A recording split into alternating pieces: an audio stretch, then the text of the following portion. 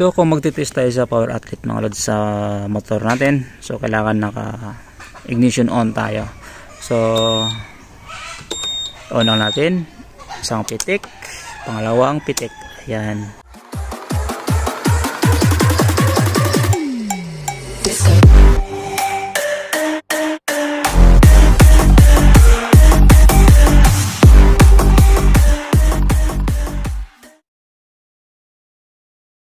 So ayan mga lodi, uh, sa Arblade na to, i-diagnose natin yung power outlet kasi yung power outlet sa motor ko ayaw nang gumana. So hanapin natin saan yung fault nito. So share ko lang sa inyo kung paano mag-diagnose sa power outlet sa Airblade na to. So may dalawa tayong tools na pwede gamitin. Itong digital multimeter or pwede kayong gamit rin ng test light or ito. So una nyo gawin mga lodi. So verify muna natin na ayaw gumana yung power outlet natin So open natin yung upuan natin.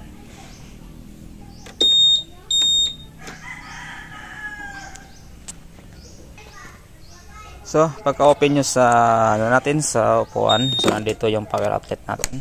Ayan. So kung magde-diagnose tayo sa power outlet natin, kailangan yung switch natin. Ayan, naka ignition on tayo. Kasi yung power outlet natin, saka lang siya magpa-power magpa-power on kung naka-accessories or naka-switch on tayo. Ayan. So, tingnan na yung switch. Tapos, i-verify muna natin kung ayaw gumana yung power outlet natin. So, dito sa power outlet natin, ayan, kung may, may nakalagay naman ito, power outlet 12 volts, ah, 12 watts maximum, 12 volts and 1 amps. Pero itong 1 amps, hindi ko sure kung tama ba itong 1, amp, 1 ampere yung ano nito, fuse. So dito na magbukas natin. Ayan kung nakita nyo. Yung sa gitna, yun ang positive. Ito, itong housing na metal, ito yung negative niya. So madali na siya i-diagnose mga lods. So una natin gagamitin yung test light. So tusok natin yung test light sa gitna. Tapos isang dugtong sa test light dito sa itong housing na to. So ayan. Kasi yung battery nito hindi natin accessible So hindi ko matitis yung test light na gumagana ba o hindi. Pero sure ako itong test light ko gumagana to. So gawin lang natin. Ito alligator clip pakagat natin dito sa ano housing housing na yan. Ayan.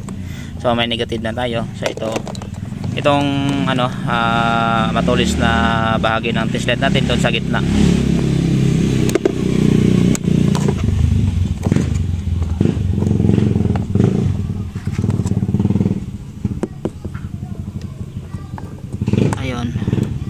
So, hindi umilaw yung ano natin, yung test light. So, possible na may open circuit tayo. Ayan. Kung nakita nyo, wala tayong ilaw sa test light natin. Pero make it sure mga lodi ha, naka-ignition on kayo. Kasi marurong diagnose rin kayo kung hindi naka-ignition on. So, ayan. So, gamit tayo sa uh, digital multimeter naman. Kasi mas accurate yung digital multimeter.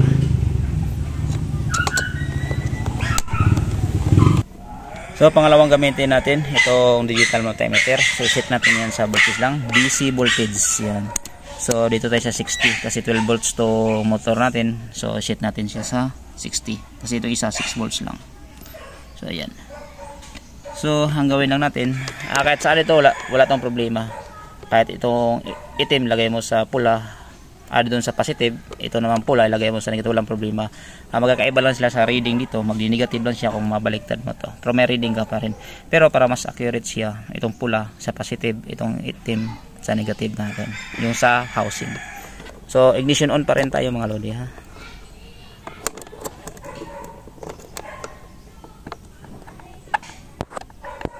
So ayan, sa gitna yung pula natin.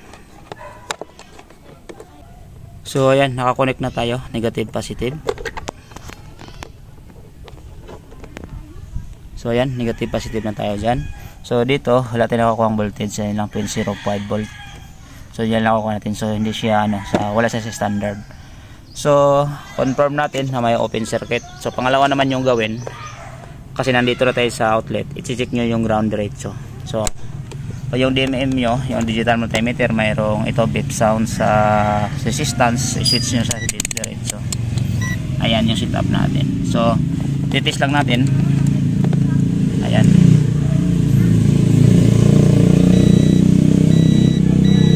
Narinig nyo? So, ibig sabihin yan, konektado yung dalawang ano, ah, uh, chinecheck natin. Kasi itong motor natin, uh, body nito is ground So, ang gawin lang natin, so itong isa, ground to, di ba? So, kabilang dulo naman, ito sa ano, ito. Kasi direct to sa chassis natin, body ground. So, ang gagawin natin, magtitest tayo dyan. Tingnan natin kung buo yung negative niya. So kung buo yung negative niya, so diretso na tayo sa positive. Yun ang hanapin natin.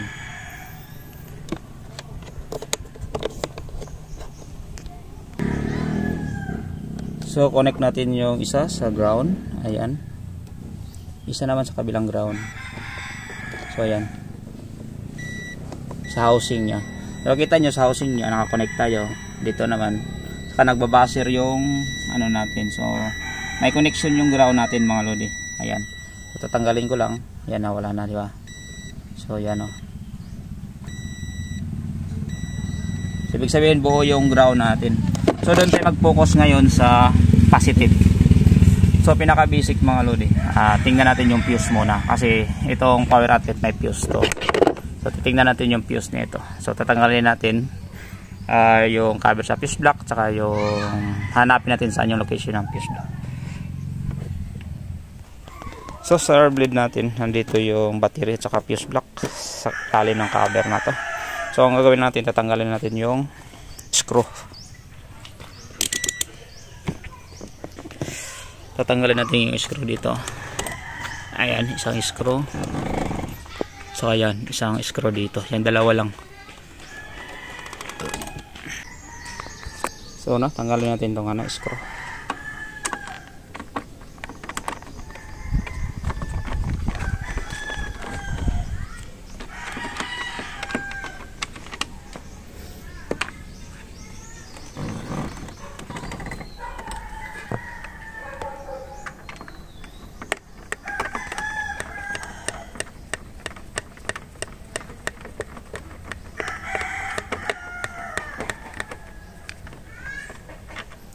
So, tanggal na yung screw. Kabilaan. Dalawa lang screw nito. Tapos, switch off muna natin to para hindi tayo malubat. Ayan. Ang pagtanggal sa cover na to, uh, atakin mo lang to pababa. Pa, pa ganun. Dito, hawakan mo tong ano, itong cover sa ibabaw banda. Atakin mo pababa kasi may ano to, uh, plastic nga lock to dito, apat so yan lang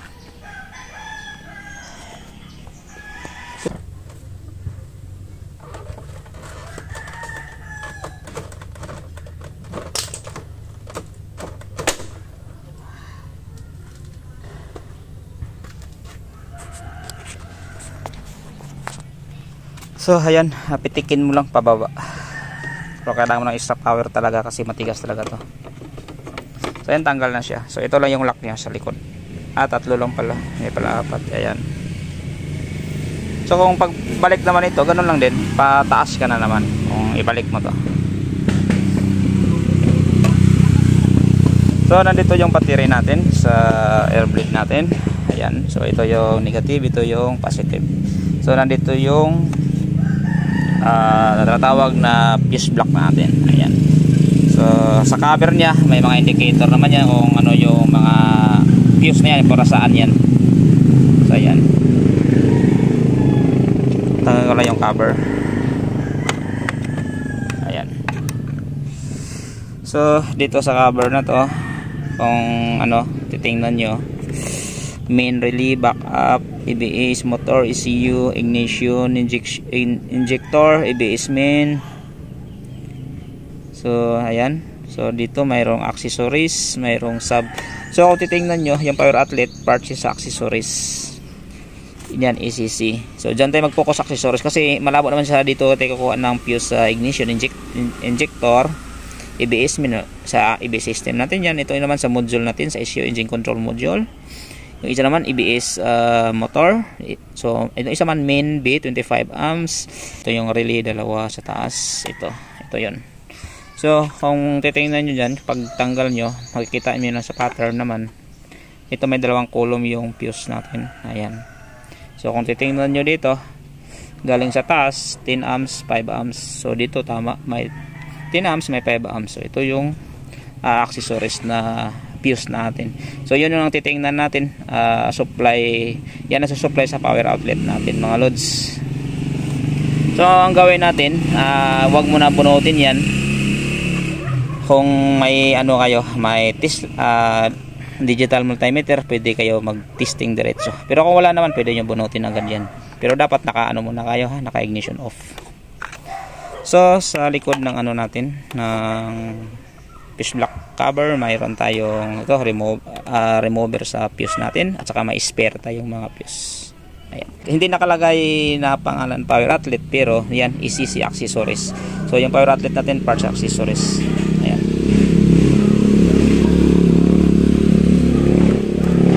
So titingnan natin yung ano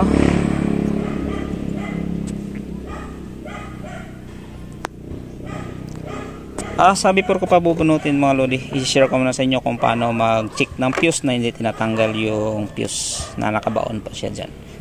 Kasi may mga disadvantage din kasi pag binubunot natin yung fuse isa-isa kung hindi nyo alam kung saan yung fuse ang may busted dyan. Kasi pwede ma-reset yung mga settings sa motor natin. So kailangan pa i-calibrate mga ganong senaryo ang iwasan natin mga lodi. So i-share ko sa inyo kung paano titest tong uh, fuse natin na hindi tinatanggal.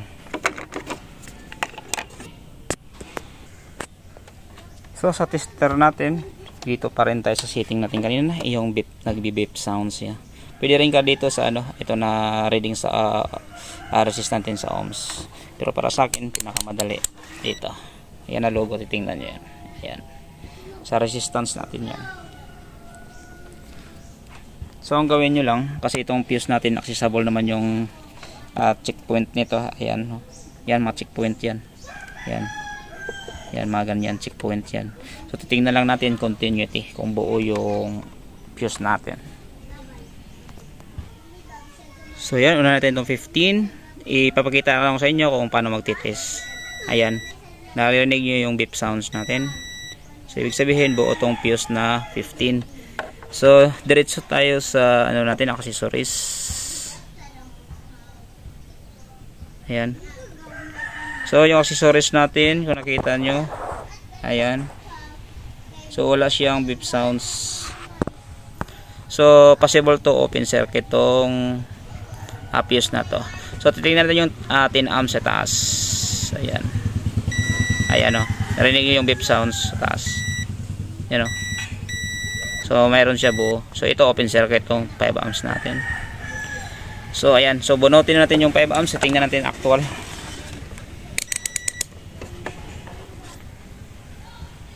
So, gamitin itong remover niya. Ayan. So, ganito yung paggamit. Ayan. So, ayan. Nakakabit na yung uh, remover. Ayan, sabay hatak. Ayan. So, kung titingnan nyo, ayan. So, yung fuse natin, ayan, busted siya, open siya. Ayan, o. Oh. ayan o oh. so open siya putok na tong fuse na to so may spare naman tayo 5 ounce ayan so gamitin natin yung spare niya ayan o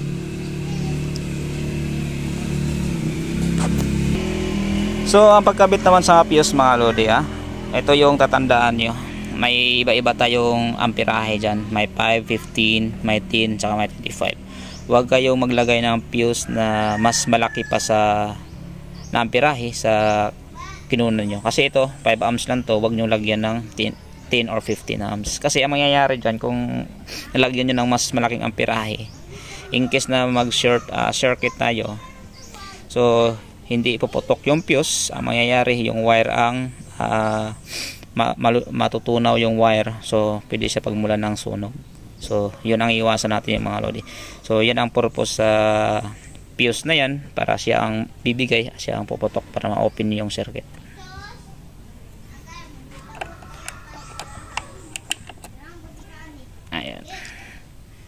So kung titingnan nyo, ikaibahan nila. Ayan, buo yan oh. Yung bago nating fuse. Itong isa, ayan, uh, open circuit busted siya. So ilagay lang natin tong ano, itong bago. So same location pa rin, same same uh, amperahe, so walang problema. Ayan.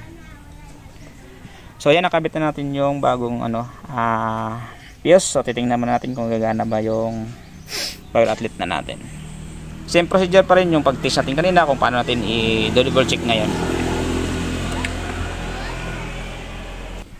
So ang pag-test dito, switch on pa rin tayo. Uh, ipakita ko lang sa inyo muna ha. I-switch off muna. Switch off muna tayo dito.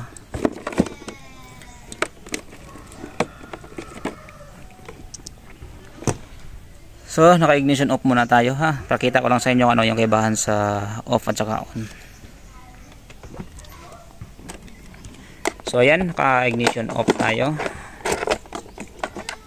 Tapos, test tayo. Test light lang gamitin natin mga lodi para hindi haba yung video natin. Kasi nakita nyo naman kanina yung ayaw gumana yung test, uh, test light natin.